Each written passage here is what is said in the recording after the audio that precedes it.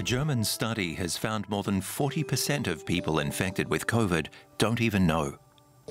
The rate is even higher among elderly people. And long COVID? Symptoms of the chronic form of the virus may also go unidentified. That could include organ damage.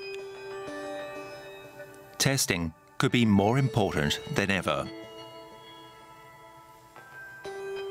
Welcome to the show. I'm Ben Fajzullin. First up, let's talk to the author of that report to discuss the consequences of not knowing you've got COVID. Philipp Wild was the principal investigator in the Gutenberg COVID 19 study. How do you determine that over 40% of Germans don't realize they have COVID? Yes, good afternoon. Actually, we have drawn a population based sample from the local registry offices and we asked uh, study participants uh, whether they had a former proven infection at two time points, uh, four months apart from uh, each other. We asked uh, these participants we to provide a PCR test, which we did in them, and importantly, we measured antibodies. And these antibodies are able to indicate whether you had a former infection independently whether you were vaccinated or not. And you've looked at over 10,000 participants over half a year. Uh, is that something that you could mirror elsewhere in the world? Well, the, I would take a note, a note of caution there. Um, the frequency of unknown infections depends very much on the rate of testing. And in Germany, we have across Germany quite comparable uh, regulations. So, there, I think we can uh, translate these to other regions. However, with translating that to other countries, we have to account for the frequency of testing, which depends has an impact on the number of um, uninfected um, infections. No, no, matter the number, though, what, what are the consequences of not knowing that you've got COVID? Well, actually, uh, as he showed, we learned that, uh, um, interestingly, in the elderly especially, there are more unknown infections uh, at about two thirds of the people 60, uh, 75 and plus, whereas in uh, those 25 to 30, for example, it's only a third. Uh, what this means, it relativizes a little bit the um, incidences, although of course uh, all the severe cases and uh, diseased persons may not should not be forgotten, and uh, it will help us to recalculate uh, the risk for persons and cer in certain conditions. Not only the risk for people who actually have it, but what about the people around them as well? Well, Exactly. So, what the problem is, the the spreading um, um, can be very well assessed if you uh, do the testing, and and and what we learn is that what we currently do is still not uh, enough to recognize all infections, and if we want to have an early warning system and recognize a new virus variant, um, for example, then we need a good testing strategy uh, to um, um, detect and unravel all of these uh, these unknown infections. So, Philipp, is it time to get self tests out there to make sure that everyone is not only working out whether or not they're infectious, but whether or not they've had the COVID virus? Yes. So, um, uh, certainly, I think uh, currently it is uh, uh, a good idea to test better, especially in the time where we are driving back uh, preventive measures. We are having major public events again, like the uh, um, the soccer championship right now. in these cases, we need to have this early warning system and still also vaccinated people should get a testing because they still can transmit uh, um, an infection to uh, not vaccinated uh, individuals. And uh, the other thing is regarding whether you had COVID, there we learned that we still have to see what are the right antibodies to measure because the majority of people did not have all antibodies positive, but a certain one. And we have to learn in which persons you have to measure which antibody before we can go for a screening for long COVID. And how many of these unknown cases could actually be long COVID? Yeah, that's uh, a matter of debate. We are currently still investigating this in our study, and that takes a little bit of time because the definition of long COVID means six months after the acute infection. And um, what we currently know is only for the known cases that about 10% are thought to develop long COVID. And again, 10% of these 10, uh, which is one of all known infections, develop a severe long COVID uh, syndrome. And what we have to investigate and learn now how many people of the asymptomatic inf- infections um, can get these sequelae. And could there be a concern for younger people that they could have COVID, they may not know, and their organs may be uh, damaged, uh, which, which may come out years later? Indeed, uh, that's what we fear, and, and that's what we want to learn about. Is there a molecular signature, something that you can measure in the blood, which indicates that you are on the way of developing a long COVID syndrome, not yet having symptoms, but that in the future you could develop a symptomatic disease which limits you on your life quality or also in the length of your life?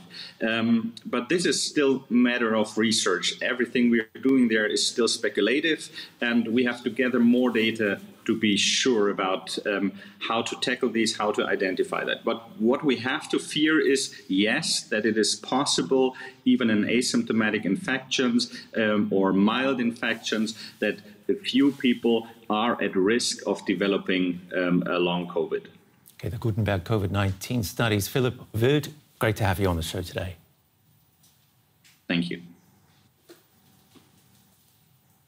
Well, long COVID sufferers are calling on healthcare providers, employers, and politicians to take their predicament seriously. For many, work is out of the question. Day to day activities are also a major challenge. Johanna Saalbach has named her oxygen device Erwin, written with AIR. The 25 year old suffers from long COVID and was born with a heart defect. Months after her initial COVID 19 infection, she needs oxygen therapy, even when only doing small chores like vacuum cleaning. Without the device, she often has difficulties breathing. The most worrying moment was one time when I was taking a shower. The steam made the air even thinner. I started crying because I couldn't breathe anymore. I more or less fell out of the shower. I was trying to breathe, but nothing was coming in. According to initial studies, about 10% of COVID 19 patients have similar symptoms. Johanna used Facebook to get in contact with some of them. They often suffer from constant exhaustion and lack of concentration months after their initial infection. In Johanna's case, the symptoms are so severe that the 25 year old expects never to be able to work as a tax assistant again. I suspect it will come down to a disability pension, whether full or partial, I don't know yet. I would still like to work, but right now I'm not able to. I'm happy if I manage to get out of bed for four to six hours, depending on the day, but mostly I lie in bed and vegetate. Hallo. Guten Tag.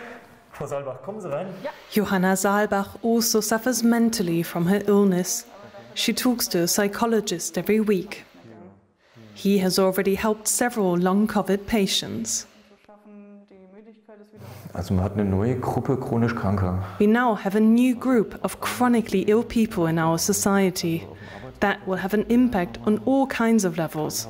It will be noticeable on the labor market, it's crucial that these people are not left behind in terms of their participation and also financially. Johanna Saalbach hopes that her application for a disability pension will soon be approved and that she will be met with more understanding when it comes to long COVID. My biggest wish is that people start taking it seriously, that they don't dismiss it and say, she's just being silly, she just has to get out of bed and get a grip. And my second wish is that politicians and researchers also take it seriously and that further research is supported. In a few weeks, she should know whether she will receive a disability pension. That would resolve one of many uncertainties that long COVID has brought to her life. Now, your turn to ask the questions. Here's our science guy, Derrick Williams. Do other viruses also cause a post syndrome like long COVID? Over the last year and a half, we've learned a lot about the chronic condition that affects up to 30% of people infected with COVID 19 uh, for weeks or, or months after they supposedly recovered. But there's a whole lot more that we still don't know about what's causing the wide range of long COVID symptoms, which often include crippling fatigue and, and what sufferers call brain fog. Although some common symptoms of long COVID are, are pretty specific to an infection with SARS CoV 2, uh, for example, a, a, loss of the sense of smell, uh, researchers and doctors say there's also quite a bit of overlap with many chronic symptoms that can sometimes be triggered by other pathogens, uh, among them viruses that cause the flu, uh, mononucleosis, and herpes.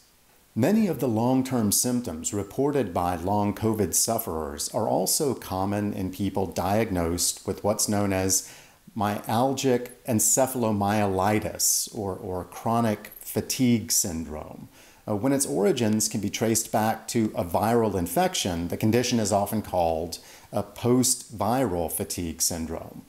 Because its symptoms are so wide ranging and physiological reasons for those symptoms so difficult to pin down, uh, many people who suffer from post viral fatigue say they've often been told by doctors um, that it's basically all in their heads. Uh, but with millions of people worldwide now reporting long COVID symptoms, the good news is that governments are beginning to throw quite a few resources at basic research in the field of post viral fatigue. And, and that basic research will very likely have positive knock on benefits for people who suffer from similar conditions that have been linked to other pathogens.